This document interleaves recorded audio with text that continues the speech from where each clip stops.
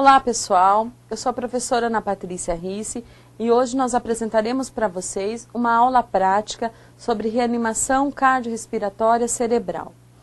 A intenção é mostrarmos o ABCD primário dessa abordagem e dando ênfase que a necessidade de nós fazermos uma reanimação é, é pensarmos na recuperação cerebral e mantivermos, deixarmos vivo esse sujeito. Não estamos pensando numa pessoa que tenha sofrido um acidente e que possa ter uma lesão de coluna cervical. Estamos numa, pensando numa pessoa que tenha tido uma parada cardiorrespiratória súbita e ela teve algum de como se fosse um desmaio. Então, o primeiro passo que nós damos é em relação a acessar a responsividade desse sujeito. Como nós fazemos isso? Tocamos os ombros da pessoa e fazemos um leve movimento para tentarmos acordá-la. Então, senhor, o senhor está bem? Esse é o questionamento. O senhor está bem? Se essa pessoa não nos responder, a primeira coisa que fazemos após essa execução é chamarmos por ajuda. E isso em todos os protocolos internacionais colocam essa situação. Primeiro pedimos ajuda. Porque se essa reanimação, se essa, se essa pessoa estiver realmente em parada cardiorrespiratória, nós necessitamos de um suporte avançado. E quanto mais rápido esse suporte avançado chegar, mais rápido essa pessoa poderá ser, é, poderá ter tido uma abordagem melhor, uma oxigenação melhor e com isso preservarmos o cérebro dessa pessoa. Fazemos então aquele movimento, o senhor está bem, o senhor está bem? Ninguém respondeu? Chamamos por ajuda, o mais rápido possível. Pode ser o CIAT, o resgate, ambulância, dependendo da localidade onde você está, deve ter um serviço médico de emergência e um serviço avançado de emergência. O próximo passo é nós deixarmos a pessoa num decúbito dorsal horizontal. O que, que, é isso? Numa superfície lisa e reta e dura. Então, se a pessoa estiver sentada, nós colocamos no chão. Se ela estiver numa cama, deixamos ela em decúbito reto. Se ela estiver num ambiente hospitalar. Se não, de preferência, colocarmos uma tábua sobre o tórax dessa pessoa. O importante é que ela esteja num decúbito dorsal. Quando eu faço abertura de vias aéreas, o primeiro passo eu devo fazer é abaixar o meu rosto próximo à boca do sujeito. Quando eu abaixo o meu rosto e olho para o tórax, eu estou percebendo se ele não faz nenhuma movimentação, se não tem nenhum ar exalado e eu não sinto nenhum ar exalado. Então, é ver, ouvir e sentir algum ar exalado. Não consegui ver nada disso, e olhei dentro da boca do sujeito e percebi que não tem nada obstruindo, então eu acabo de fazer assim o diagnóstico de parada respiratória. Como que é o diagnóstico?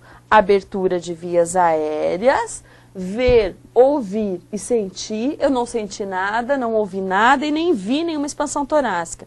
Então eu acabei de fazer o diagnóstico de parada respiratória. O próximo passo, eu mantendo a abertura de vias aéreas, fechar as narinas, ocluir as narinas do sujeito e fazer a ventilação boca a boca. Como que eu faço? Não preciso hiperinsuflar os meus pulmões, simplesmente eu respiro normalmente e exalo o ar dentro da boca do sujeito, fazendo esse movimento.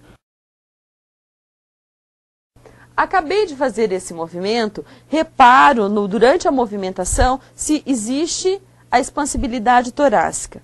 Fiz uma vez, existiu a expansibilidade. Faço mais uma vez para ter certeza que esse procedimento está correto e que as vias aéreas estão liberadas.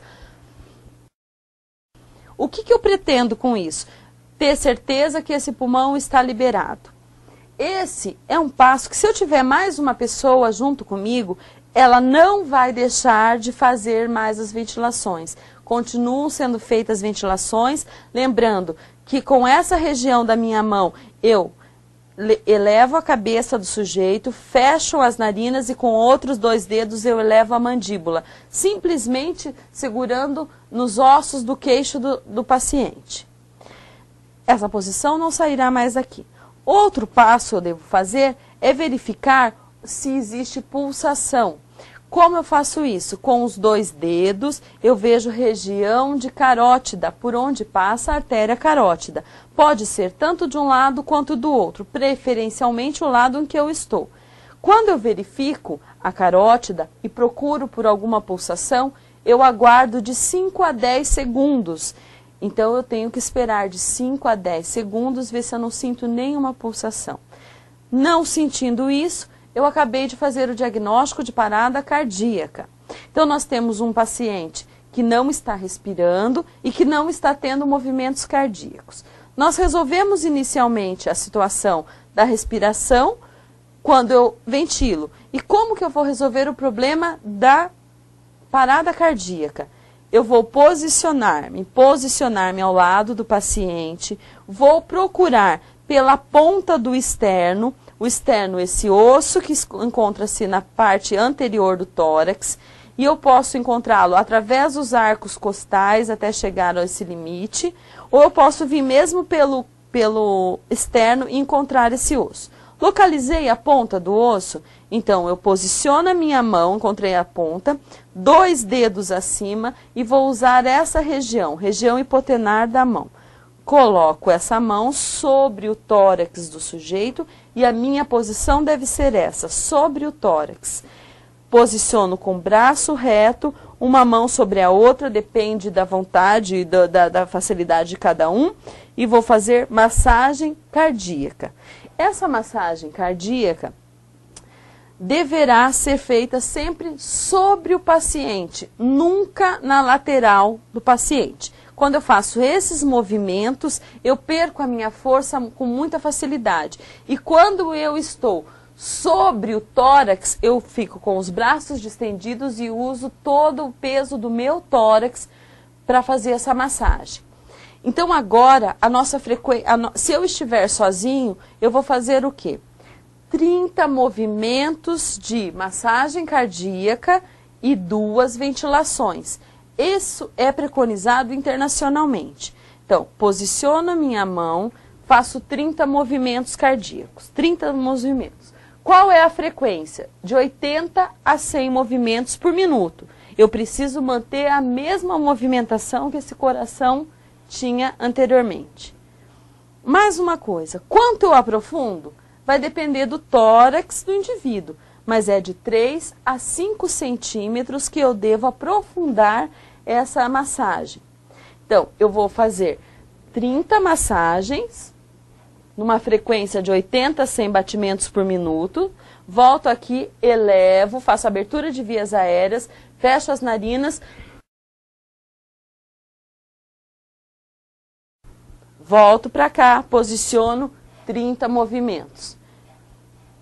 Esses ciclos devem ser realizados a cada cinco, quatro vezes completos e depois eu verifico o pulso do paciente e até chegar um suporte avançado.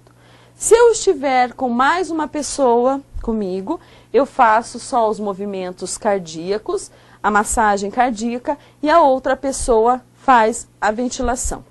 Então nós fizemos A, abertura de vias aéreas, B, boca a boca e C, massagem cardíaca de circulação. O D, nós trabalhamos o D como desfibrilação precoce. E a desfibrilação precoce, ainda no Brasil, nós precisamos de o suporte avançado. A desfibrilação, ela é realizada com um aparelho automático e é um aparelho portátil, onde nós colocamos adesivos sobre o tórax do paciente e ele verifica se o paciente está fazendo fibrilação ventricular. Se ele tiver, esse mesmo aparelho vai desfibrilar, descarregar uma energia que vai fazer com que o sujeito retorne aos, aos batimentos normais. Toda reanimação cardiorrespiratória, ela tem o objetivo de ventilar o cérebro do paciente. Nós sabemos que depois de três minutos de falta de circulação cerebral, existe a morte das células, dos neurônios. Então é muito importante que quando você presenciar ou presenciar ou for chamado para um atendimento de reanimação, que esses procedimentos sejam realizados. Então, lembrando do ABC, abertura de vias aéreas, o B de boca a boca, fechando, ocluindo as narinas e mantendo a abertura de vias aéreas, e o C de circulação, que são as massagens. Então, se atentem a esses, a esses pontos. Sempre ventilar o paciente com a abertura de vias aéreas, com a extensão do pescoço. E todas as vezes que forem fazer a massagem cardiorrespiratória, os braços devem estar retos, um ângulo de 90 graus sobre o tórax do paciente. Eu posso estar tanto ajoelhado quanto posso estar em pé ao lado do paciente. Isso vai se repetindo esses ciclos se repetem até a chegada de um suporte avançado ou até da recuperação desse paciente que acabou de ter uma, uma, uma parada cardíaca. Muito obrigado a vocês, até uma próxima oportunidade.